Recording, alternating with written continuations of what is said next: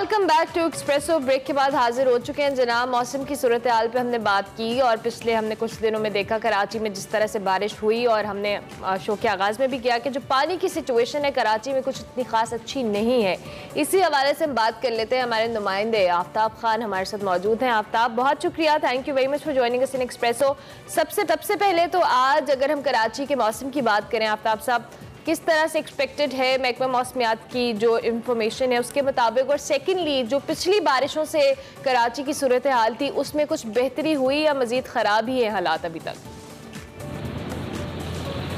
जी, देखिए मौसम की आपने बात की तो इस वक्त कराची का मौसम, चूँकि गुजशत 24 घंटों से गरज चमक के साथ कराची में बारिशें हो रही है तो उसकी वजह से इस वक्त भी अगर मौसम की बात करें तो बुनियादी तौर पर, मजबूरी तौर पर मौसम खुशगवार है और जो एक हिद्दत थी चंद दिन कबल वो ख़त्म हो चुकी है क्योंकि 217 मिलीमीटर बारिश जो है वो कराची में रिकॉर्ड हुई है और ये 217 मिलीमीटर बारिशें जो है ये 24 घंटों के अंदर इंतज़ामिया के तमाम तर दावे जो है वो साथ बहा कर ले गई।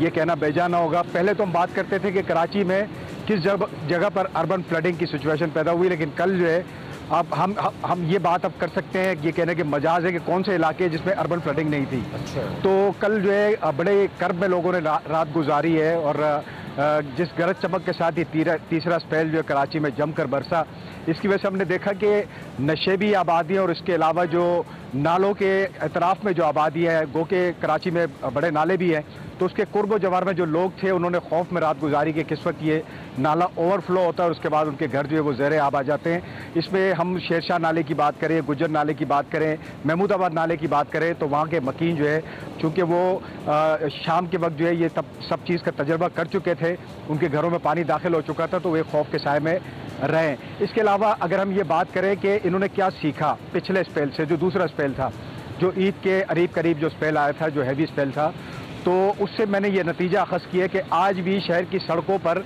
मुझे एक झाड़ू बरदार फोर्स इनकी ज़रूर नज़र आ रही है अच्छा। जिन्होंने डंडों के साथ झाड़ू बाँध के वो सफ़ाई में मशगूल है लेकिन जो हैवी मशीनरी है वो आज भी सड़कों पर नहीं है इस वक्त 217 मिलीमीटर बारिश जो है वो सदर में रिकॉर्ड हो चुकी है, बदतरीन हालत है वहाँ पर।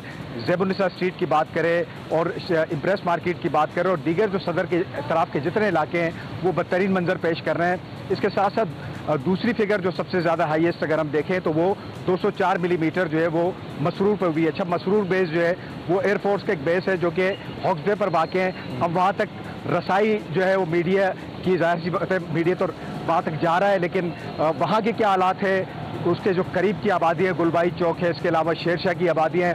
बताया जा रहा है कि वो तमाम तर जो आबादी हैं वो इस वक्त शदीद अच्छा, मुश्किल का दो जा रहे हैं। तो बाकी मानदा जी, जी। हमें तो अब मालूम पड़ा है कि जो फ़्लाइट ऑपरेशन है वो भी मुतासर हुआ है। एयरपोर्ट का चूँकि आपने ज़िक्र किया तो मुझे याद आ गया। तो इस हवाले से कोई मालूम है आपके पास फ़्लाइट ऑपरेशन को लेकर? और उसके साथ साथ ये भी कि अगर वैसे तो छुट्टी दे दी गई है लेकिन कराची इतना बड़ा शहर है और हमें मालूम है हम कराची में जो वक्त गुजरा है कि हर वक्त सैकड़ों हज़ारों एम्बुलेंसेज सड़क के ऊपर होती हैं। कहीं ना कहीं कोई ना कोई इमरजेंसी चल रही होती है। तो क्या इस वक्त एम्बुलेंसेज और जो ये हंगामी गाड़ियाँ हैं, ये भी फिर कम्यूट नहीं मूव कर पा रही हैं? इनका भी मसला चल रहा है वहाँ पर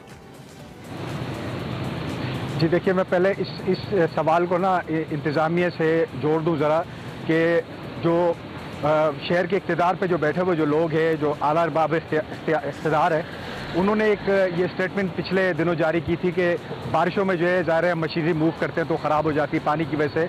तो ये दुनिया में कहीं पे भी नहीं है।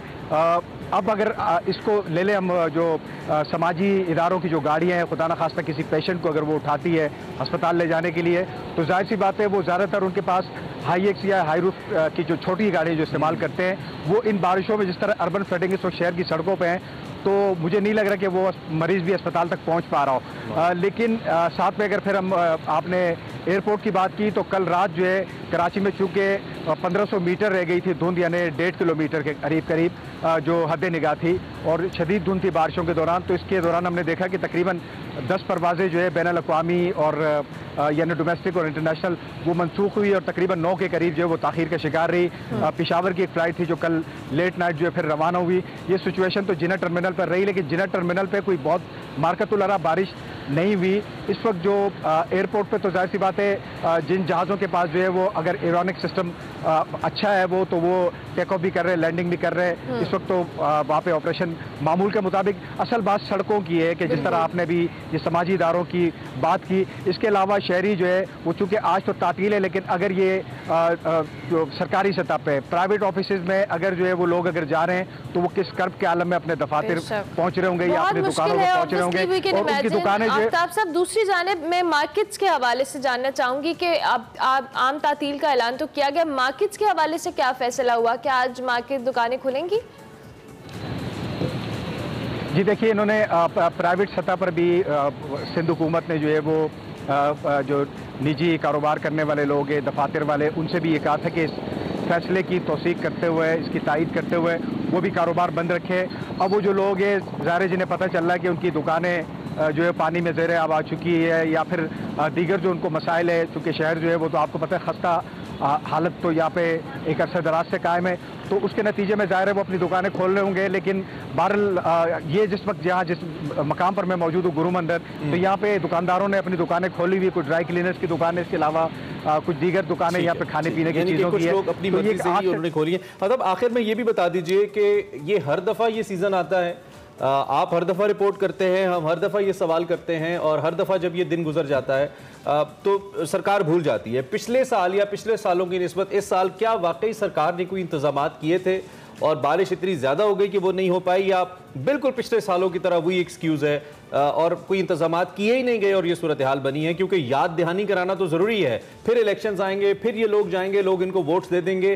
तो कम अज़ कम कोई ना कोई कॉम्पिटेंस आना ज़रूरी है। बात होगी तो कॉम्पिटेंस आएगी। आप ज़रा एक हमारे सामने मुवजना रख दीजिए, चूँकि आप तो कवर करते हैं, आप तो कराची को जानते हैं।